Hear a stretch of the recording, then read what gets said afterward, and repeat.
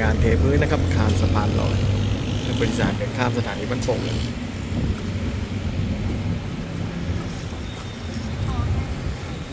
นี่ก็จะมีลิฟต์มารับต่อ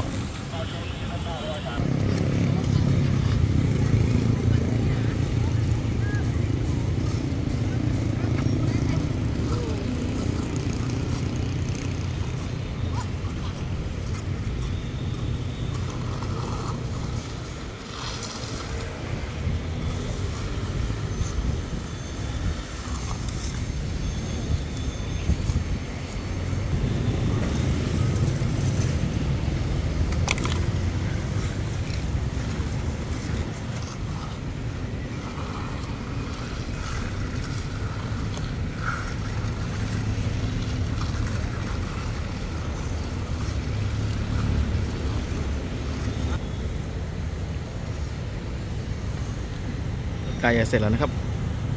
ตัวอาคารสะพานลอยทางเดินให้บริษัทข้ามชันชาลาบริเวณนี้ก็จะมีลิฟต์นะครับ ลงเสาเข็มไว้แล้วครับ ก็จะขึ้นโครงสร้างในเวลาไม่นานครับบริเวณนี้ครับเป็นบริเวณที่มีเสาเข็มเล็กอยู่นะครับลารถมาด้าเลยครับ